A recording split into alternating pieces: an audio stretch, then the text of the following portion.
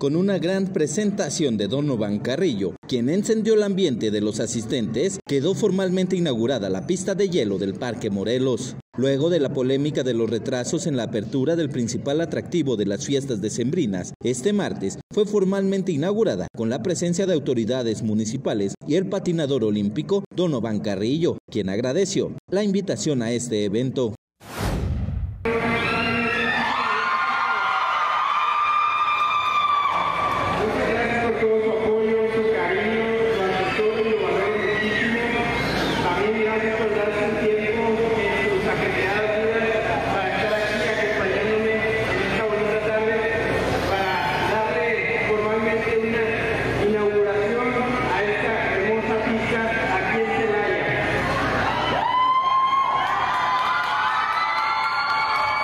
Como en todo un torneo profesional, Donovan presentó una rutina musicalizada con música navideña, lo cual fue ovacionado por el público asistente, quien hizo filas por varias horas para ver este espectáculo. Para Noticieros Expresa TV, informó Roberto Lira.